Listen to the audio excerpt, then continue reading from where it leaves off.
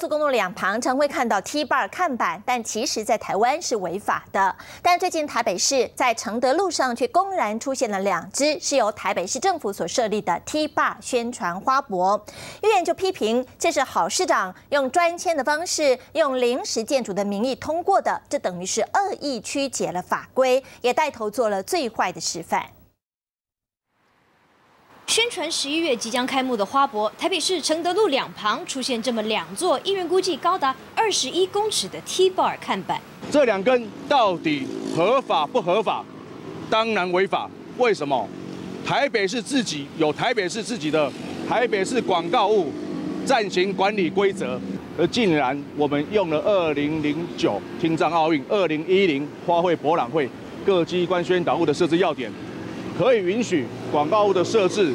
议员痛批市长郝龙斌用了专签的方式，跳过各项法规的审查，违反架设花博 T bar 广告，根本是只许州官放火，不准百姓点灯。市府反驳，却说这不是广告。我个人比较认为，它不是一个广告，它是一个政策、一个政令的一个宣导，不是以广告物申请啊。啊，不，你下面申请，一请建筑物坚持临时建物吗？爱个边建造啊，他 T T 八是临时建筑。